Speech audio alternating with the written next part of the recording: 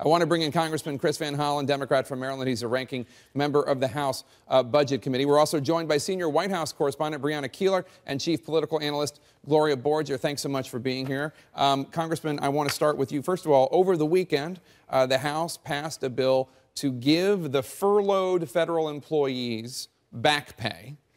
Um, but it looks as though that bill, even though it passed the House unanimously, Democrats and Republicans, has trouble now in the Senate. Senate Republicans saying that they have objections to it.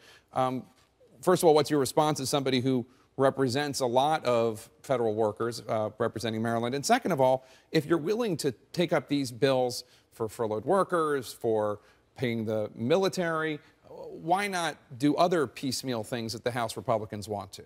Well, right. So, first of all, nobody should be punished for something that is not their fault. Uh, so, it was the right thing for the House to unanimously pass legislation saying we're going to keep everybody whole, that federal employees will not bear the brunt of bad decisions on Capitol Hill.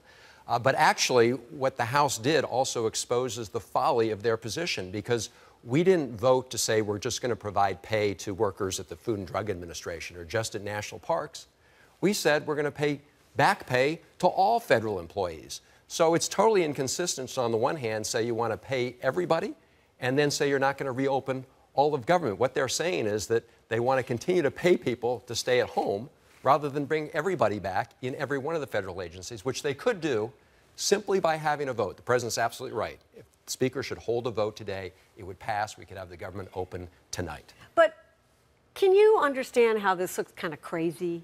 To the American public that here we are having a government that's in the red and we're now, we want to pay people not to work, even though it might be the right thing to do because, of course, they didn't cause this, but we, we're not paying our bills, but we're paying people not to work. How does that work? Well, the whole thing is crazy. I, I couldn't agree with you more, which is why we're calling on the Speaker to send people back to work tonight.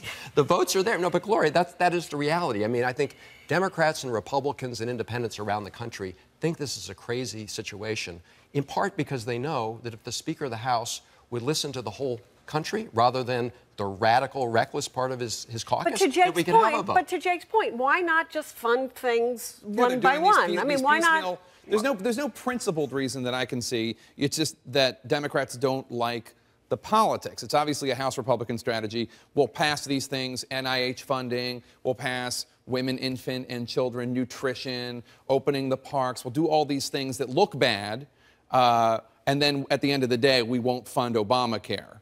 And Democrats don't want to do that. I understand that. But that's not a principle to say, well, we, we want to do Political. it all at once. No, no. The, the, principle is getting the entire government up and running as fast as possible. That's the principle. And when Republicans yesterday said they want to pay every federal employee back pay, you would think the principle that would follow is let's get everybody back to work. Why do they want to pay people to stay at home in some federal agencies? That is totally ridiculous.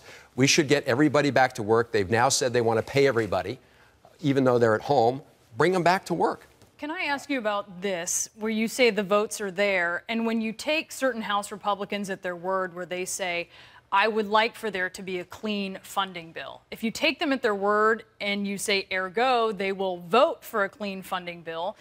But when you dig a little deeper, you start to find that some of those House Republicans also say they won't actually break with their House leadership to force a vote on it. So are the votes really there? Yeah, Congressman do you Nunes. Think, we had Congressman think... Nunes here last, last week, week. a California Republican, very disappointed with what he calls the lemming Republicans, the lemming caucus. He wants a clean uh, spending bill for the government, but he's not going to buck the leadership. Well, so uh, Brianna has a point. But he, doesn't want to. You can't count him as They're saying they want a clean uh, well, CR. No, so you're saying they have the votes, the, they don't have is, the votes. If, if here, the speaker goes on national television and says he doesn't have the votes, well, put it up for a vote. Let's see.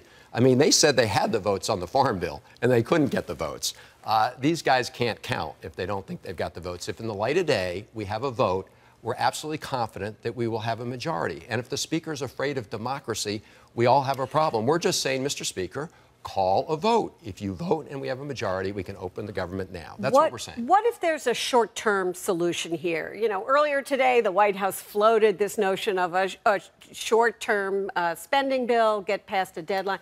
And there were lots of Democrats who were scurrying to their phones trying to figure out what the White House was really saying because they felt they were out on a limb. Would you take a short term Uh, what, what they were talking about today was on the debt ceiling. On the debt ceiling. on the debt ceiling, sorry, Well, and, yes. and, and so our, our view is we should not be playing Russian roulette with the debt. So we would much prefer, let me make it really clear, we much prefer a longer term extension uh, because that removes a lot of unnecessary uncertainty in the markets. Of the debt But ceiling. certainly if it's a decision between a meltdown or a temporary increase, yes, we would take a temporary uh, increase. But you have to get clean. through funding the government first. Well, uh, our view is we should get that done today. And I, I do think it's important to, to point out that yesterday on national television, the Speaker of the House said that he had reached a compromise agreement with the Democratic leader in the Senate, Harry Reid, on keeping the government open. And what Harry Reid did was agree to the lower what we call the sequester level of funding for the government. This was a while ago, though. But,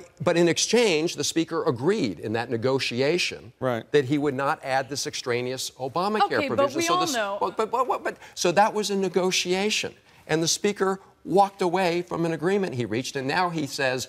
Well, let's let's negotiate some more. Here's a guy who's not been able to deliver his own. or he was. Let's forced face it. away. True, but he was forced away from the agreement.